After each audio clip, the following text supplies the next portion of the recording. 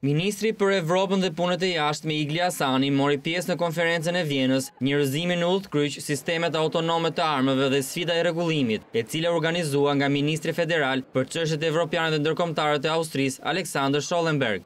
Kryediplomati shqiptar Igli Hasani nënvizoi se Shqipëria, si vend anëtar i NATO-s, mbështet përdorimin e sistemeve autonome të armëve vetëm mbi bazën e ligjeve ndërkombëtare dhe të drejtave të njeriut. Përdorimi i sistemeve duhet bërë vetëm bazuar në normat, parimet, ligjet ndërkombëtare dhe respektimin e të drejtave të njeriut. Besimi është kyç në shfrytëzimin e sistemeve autonome. NATO dhe vendet aleate duhet të ndërtojnë nivele të larta besimi si në teknologji, Operacionalitet, mbi të gjitha, besim në publik.